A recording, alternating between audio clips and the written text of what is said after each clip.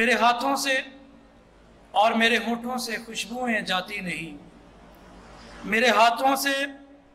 اور میرے ہونٹوں سے خوشبوئیں جاتی نہیں میں نے اس میں محمد کو لکھا بہت چوما بہت ہمارے لیے اعزاز اور باعث افتخار ہے کہ ہمارے درمیان پروفیسر ڈاکٹر محمد سعد صدیقی موجود ہیں آپ کاندھلا کے علمی خاندان صدیقی کے چشم و چراغ ہیں آپ شیخ الحدیث مولانا محمد مالک کاندھلوی کے فرزند اور تحریک پاکستان کے بزرگ رہنما مفسر و محدث مولانا محمد ادریس کاندلوی کے پوتے ہیں بلا شک و شبہ آپ اپنے آبا و اجداد کی علمی و دینی روایتوں کے حقیقی امین ہیں آپ university of the Punjab institute of Islamic studies کے ڈائریکٹر ہیں تفسیر حدیث فقہ سیرت نبوی آپ کی تحقیق کے میادین ہیں آپ پاکستان اور بیرون پاکستان مختلف جامعات میں انعقاد پذیر ہونے والی کانفرنسز اور سیمینارز میں تحقیقی مقالات پیش کر کے بین الاقوامی سطح پر علمی دنیا میں اپنی شناخت بنا چکے ہیں نصف درجن کتب آپ کے کریڈٹ پر ہیں بیسیوں علمی و تحقیقی مقالات ملکی و غیر ملکی جامعات کے ریسرچ جنرلز کی زینت بن چکے ہیں میں انتہائی ادب سے التماس گزار ہوں جناب پروفیسر ڈاکٹر محمد سعد صدیقی سے کہ وہ تشریف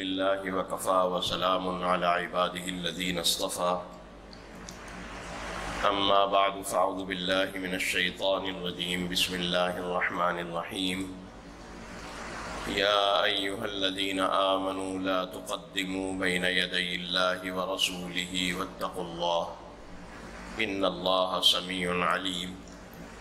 يا أيها الذين آمنوا لا ترفعوا أصواتكم فوق صوت النبي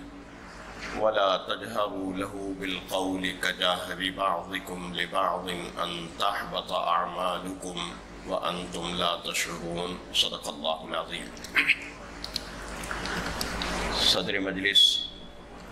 دين فیکلٹی علوم اسلامیہ اور بروفيسور دكتور شفيق صاحب برادرم دكتور محي الدين هاشمي صاحب محترم تابش صاحب معزز اساتذہ کرام عزیز طلبہ و طالبات میں بہت شکر گزار ہوں محترم ڈاکٹر شفیق شیر صاحب کا کہ انہوں نے مجھے اس جامعہ میں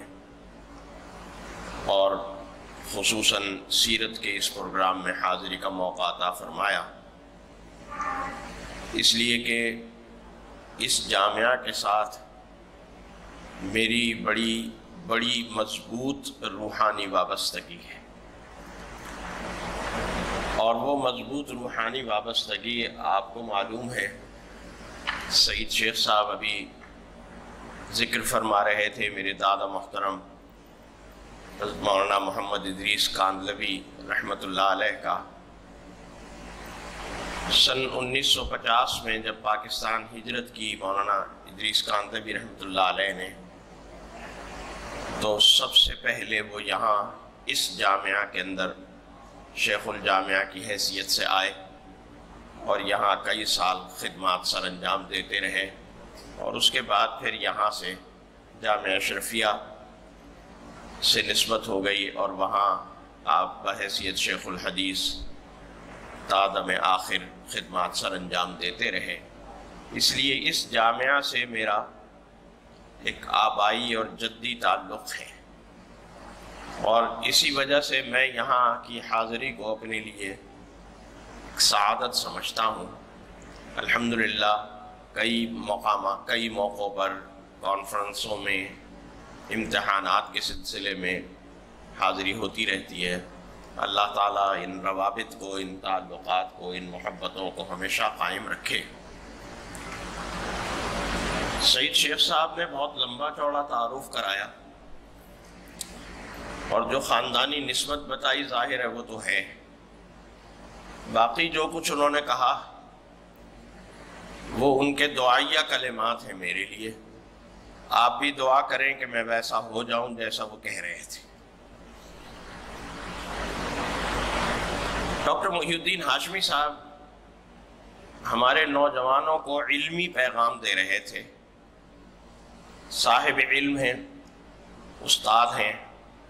لہذا علمی پیغام دے رہے تھے میں ظاہر ہے کہ علمی دنیا کا ایک خادم تو ہوں ایک طالب تو ہوں لیکن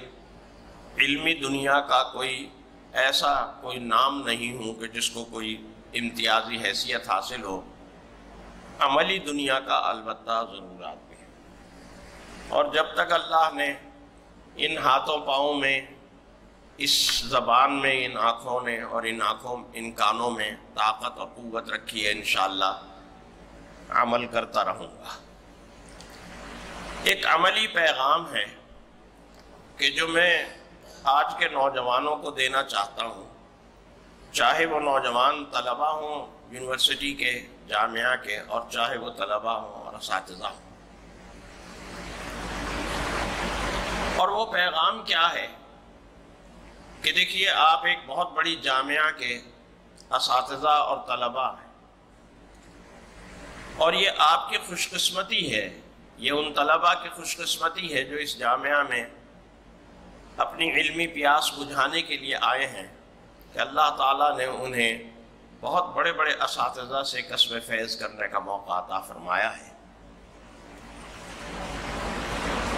جب علمی دنیا میں انسان قدم رکھتا ہے پڑھتا ہے معلومات جمع کرتا ہے جیسے ڈاکٹر صاحب بھی فرما رہے تھے کہ معلومات کا ایک ذخیرہ انسان اپنے اندر جمع کرتا ہے اس معلومات کے ذخیرے کو اگر وہ کلاسیفائی کرتا ہے وہاں تک نہ رہے جہاں تک الدین حاشفی صاحب فرما رہے تھے اس سے آگے بڑھے اور اس سے جب وہ آگے بڑھتا ہے تو یقیناً اس کی کوئی نہ کوئی رائے بنتی ہے وہ کوئی نہ کوئی رائے قائم کرتا ہے اس علم کی روشنی میں جیسے ہم دیکھتے ہیں کہا تھے محدثین تھے علم جرح و تعدیل کے ائمہ تھے انہوں نے بہت پڑھا بہت مطالعہ کیا شخصیات کو دیکھا شخصیات کا مطالعہ کیا اور اس کے بعد رائے قائم کی فلاں آدمی سکھا ہے فلاں غیر سکھا ہے فلاں صدوق ہے فلاں امین ہے یہ رائے قائم کی فقہا نے غور کیا فکر کیا حدیث کا مطالعہ کیا قرآن کریم کا مطالعہ کیا اور ہمارے لیے مسائل نکال کر سامنے رکھے رائے قائم کی کہ یہاں اس مسئلے میں ہماری رائے یہ ہے اس رائے کے لیے یہی اصل بات ہوتی ہے علم کا حق یہی ہوتا ہے علم کا حق صرف یہ نہیں ہے کہ انسان رٹے لگا لے اور رٹے لگا کر معلومات کا ایک خزینہ اور معلومات کا ایک ذخیرہ اپنے ذہن میں دماغ میں جمع کر لے اس معلومات میں سے کچھ استمباد کرے اور کوئی رائے نکالے اور اس رائے کے اندر اللہ تعالی نے اسے اور رسول اللہ صلی اللہ علیہ وسلم نے اسے آزادی دی ہے لیکن اس آزادی کی دو بنیادی شرائط ہیں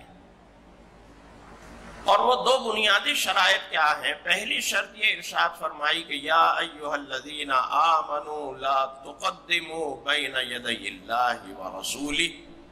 تمہاری رائے اللہ اور اللہ کے رسول کی رائے سے آگے نہیں ہونی چاہیے تمہاری رائے میں اللہ اور اللہ کے رسول کے فرمان کا ان کی تعلیمات کا ان کے احکام کا پیروی کا اور اتباع کا جذبہ ہونا چاہیے اس کے پیچھے چلنے کا جذبہ ہونا چاہیے اس سے آگے بڑھنے کا جذبہ نہیں ہونا چاہیے اس لیے کہ اللہ اور اللہ کا رسول مطبوع ہیں وہ تابع نہیں ہیں تابع میں اور آپ ہیں اللہ اور اللہ کا رسول مطاع ہیں میں اور آپ مطیع ہیں یا ایوہ الذین آمنوا اطیعوا اطیعوا اللہ و الرسول اے ایمان والو اللہ کی اطاعت کرو اور اللہ کے رسول کی اطاعت کرو تو مجھے اور آپ کو اللہ تعالیٰ نے اللہ کا اور اللہ کے رسول کا مطیع بنایا ہے اور ظاہر ہے کہ مطیع پیچھے چلتا ہے مطیع کبھی آگے نہیں چلتا